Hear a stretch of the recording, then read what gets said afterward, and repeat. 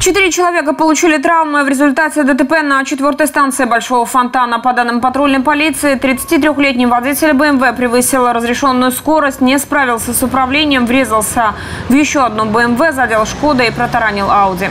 Последняя влетела в остановку, где стояли две пожилые женщины и мужчина. В салоне вероятного виновника аварии обнаружили бутылки с алкоголем. Мужчину госпитализировали. В результаті травм зазнав водій, який допустив дорожньо-транспортну пригоду, та троє громадян, які перебували на трамвайній зупинці. Це 23-річний хлопець і дві жінки 72 та 76 років. Усіх потерпілих було доправлено до лікарні, де їм була надана медична